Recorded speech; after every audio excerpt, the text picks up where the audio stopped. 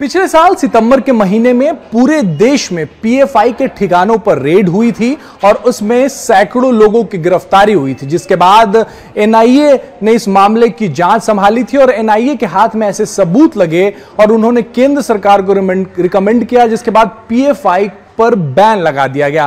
पुणे में भी, पुणे के कोंडवा इलाके में भी एक इमारत में पीएफआई का दफ्तर चल रहा था, जहाँ पर एनआईए ने रेड किया था और उसके दो फ्लोर्स को, केजेड बिल्डिंग है ये कोंडवा इलाके में और उसके चौथे और पाँचवें मंजिले पर, इस वक्त मैं चौथे मंजिले के गेट पर खड़ा हूँ, जिसे फ़िलहाल बंद किया गया है, जिसे फ़िलहाल सील किया गया है। इस इमारत में और भी स्कूल्स चलते हैं। ये पूरा जो इमारत है, वो एक तरीके से एजुकेशनल था। पहले मंजिले पर उर्दू मीडियम स्कूल चलता है, दूसरे और तीसरे मंजिले पर इंग्लिश मीडियम स्कूल चलता है। तो जो लोग यहाँ पर इस बिल्डिंग में रहे हैं जिनका ताल्लुक इस बिल्डिंग से है और जब रेड पड़ा था तब भी यहाँ थे और उसके पहले भी थे। सबसे पहले आपसे बात करते हैं। क्या नाम सर आपका?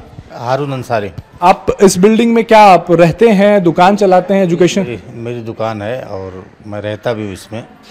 और ये जो चौथे और पाँचवें फ्लोर की बात हो रही है कौन था इसमें? कौन रहता था? आपके दुकान पे तो, तो आना जाना लगा रहता होगा। हाँ आना जाना लगा था लेकिन ऊपर से मेरा कोई ताल्लुक नहीं था कांटेक्ट नहीं था मेरा। सामान वगैरह लेने लोग आते थे। और बाकी उसके अलावा मेरा कुछ ताल्लुक नहीं था। आप इसी इमारत में स्कूल चलाती हैं? सेकेंड और थर्ड फ्लोर सेकंड और थर्ड फ्लोर है जी। अब जब यहाँ पे रेड पड़ी या जो फोर्थ और फिफ्थ फ्लोर को अभी फ़िलहाल अटैच किया गया उसे सील कर दिया गया है तब भी ये स्कूल यहीं पे चल रहा था आपका स्कूल जी जी स्कूल यहीं पर थी। यहाँ पे जो लोग आते जाते थे उनसे आपका कोई वास्ता कौन आ रहा है कौन जा रहा है? नहीं नहीं, हमारा कोई कंसर्न नहीं था। जहाँ तक मुझे मालूम था, ये पता था कि ये डिग्निटी सोशल वेलफेयर ट्रस्ट है। इतना ही हमको मालूम था। हाँ बाकी उनसे हमारा कोई कंसर्न नहीं। हमारा जो भी है स्कूल आस में हम आते थे स्कूल आस में चले जाते थे।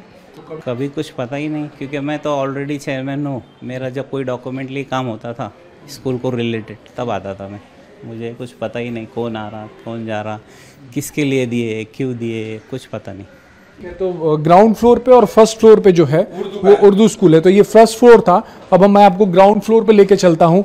तो जो यहाँ इस बिल्डिंग में अलग अलग स्कूल्स चला रहे हैं लोग या फिर बिल्डिंग के बाहर बिल्डिंग में जिनका दुकान है उन्हें बहुत ज़्यादा जानकारी जो है वो नहीं थी कि पीएफआई का यहाँ पे दफ्तर चल रहा है। ये ग्राउंड फ्लोर है।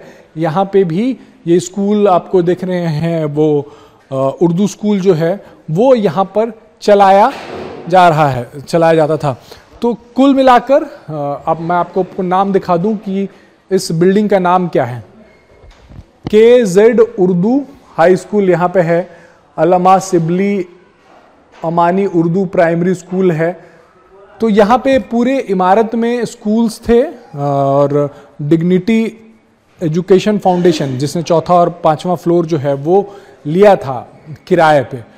एनआईए ने जब सितंबर के महीने में रेड की उन्हें पुख्ता जानकारी मिली थी कि यहाँ से यहाँ पर पीएफआई का दफ्तर जो है वो चलाया जा रहा है जिसके बाद एनआईए ने रेड की। मैं आपको बाहर से भी तस्वीरें जो है वो दिखाने की कोशिश करता हूँ इस इलाके को सम, को समझाने की कोशिश करता हूँ। यहाँ पे सितंबर के महीने में एनआईए ने रेड की थी तब यहाँ पे आना जाना था बहुत लोगों का। तो ये वो पाँच मंजिला इमारत है जिस पर एनआईए ने रेड की और चौथे और पाँचवें मंजिल को जो है, वो फ़िलहाल जो है वो अटैच किया है सील किया है। बताया गया कि वहाँ पर पीएफआई का दफ्तर चलता था, यहाँ पे मुस्लिम युवाओं को भड़काया जाता था, हिंदू नेताओं के खिलाफ भड़काया जाता था, हिंदू ऑर्गेनाइजेशन के खिलाफ भड़काया जाता था। देश की शांति भंग करने की कोशिश जो है, वो यहाँ से की जाती थी अखंडता को तोड़ने की, देश को तोड़ने की कोशिश जो है, वो यहाँ से की जाती तो फ़िलहाल एनआईए ने इस बिल्डिंग को अटैच कर लिया है, चौथे और पाँचवें मंजिले को और यहाँ पर अब इसे लीज आउट करने की और या फिर इसे बेचने की इजाज़त इस बिल्डिंग के मालिक को फ़िलहाल नहीं है जब तक एनआईए की जाँच पूरी नहीं हो जाती। कैमरामैन सागर खाड़े के साथ Rajesh Kumar, India TV, Pune. Crime की खबरों से अपडेटेड रहने के लिए India TV crime alert channel YouTube पर सब्सक्राइब करें। बेल आइकन दबाना न भूलें। सावधान रहें, सुरक्षित रहें, देखते रहें।